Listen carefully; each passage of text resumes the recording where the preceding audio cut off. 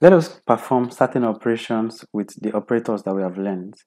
Um, there are things you can do with both um, string and numbers when it comes to using operators. And I'm going to be showing you a few of them now. Say I have a variable. Let's comment all the other code out. Um, so we have a clean slate to work with.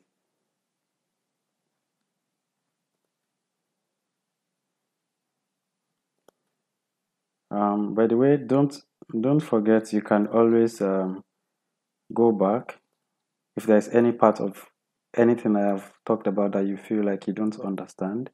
It's always advisable to go back and watch them again and see. And also, as I talk about these things, I recommend that you try different things. I'm sure you'll get errors, but just think of ways you can mix these things together and the results you can get from them. I'll also be building something very soon to show you how you can use some of them in real life applications. Because right now it seems like a bunch of theories that we don't know how to use yet. Uh, but don't worry, we are going to be using them. Okay, so I was saying we'll be learning how to perform certain things using the operators. The first thing we want to do is to start with this small variable. Uh, so let's create a variable and call it voice and say scream. Is that how to spell scream? I mean shouting. Let's just say shout. Shout. Okay, so we have a variable um, okay yeah I, I need to do this I always make that mistake when writing Python because um, most other languages require that you terminate like C++, um, PHP, um, but JavaScript does not require, but I mean it's advisable to terminate every time you write JavaScript. Python doesn't need it. It's to still work, but it's not needed. Right, say I want to repeat this same thing. Let's print it out first and let's just run that code. And you can see it we have that of course we've done this before. So say i want to have this repeated in several places. So i'm going to add a space here so we can identify them. Or you know better still let's do this. Now i can do uh, in five places. If i run this code i get shout shout shout shout shout now, not many languages can do this. In fact, I, I believe Python is probably one of the first languages to be able to uh, to do this. I'm not entirely sure about that, but you know, of the languages that I write, Python is the first. to be sincere, Python is the first that I've noticed can do this.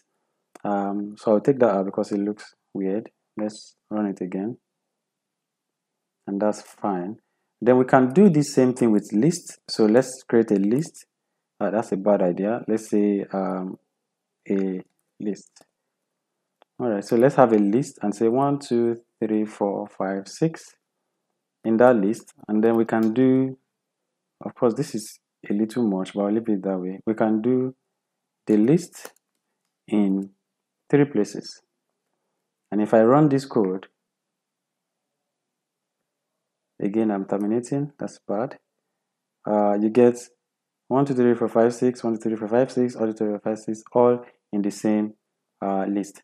Now, one other thing we can do is uh, let's create a list A and call it 1, 2, 3, 4, and then another list B, 1, say uh, 5, 6, 7, 8. Now we can do this with that list A plus B. Now let me show you what happens when I do that. See what I get? All right, let's comment this out. This is obviously um, filling in space. So I, I know you can already guess what will happen, but this is what happens. It adds both together. Again, not many languages can do this, um, but Python does it. Okay, so let's let's try one other thing. Now imagine I want to increase a number, say uh, I have a variable age, and that age is specified as 35 say I want to increase this number by 1 so there are different ways you can do this. I can do age equals age plus 1 so this basically takes the age adds 1 to it and then assign that age assign the new value um, to variable age Remember when we talked about variables, we said variables are just like containers where you can add a single thing at a time. So what I've done here is to replace the content of this container, which is age, with this current content plus 1 and then put it back into the container. So that's kind of easy. Let's print it out. If I print age now, again with determination, just pardon that. If I print age now, I get 36. That's because I increased this by 1 and then assigned it back to the variable. If I print age here, just so we are sure that that's what we get, I should get 35, then 36. And as you can see, I have 35 and 36. Now, this is a long way of doing this. In fact, not many people write this in their application.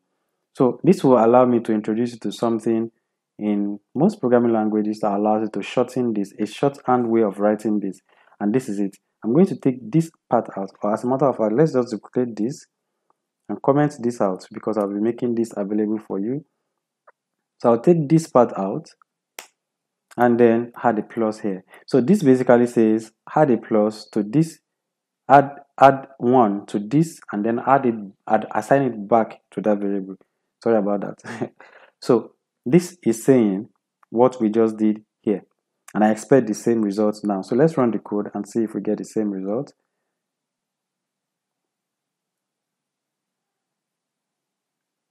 And you see, we still get the same result. Did we? All right, let me, let me, let's see that again. I'm going to comment. Oh yes, we still get the same result. Oh, you know what? Let me comment this out so I'm sure that I get the same result. And there's an error here. Ah, right.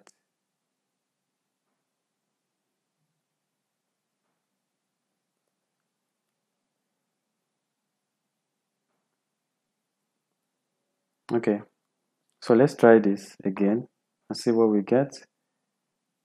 And I get 36. So it still works. Sorry about that. I wanted to be extra sure because, um, you know, it would be a bad idea to mislead anyone. So this is now, okay, so it's 37 now. That's because I'm doing this twice. So let's comment this out and then I should get my 35 and 36 now.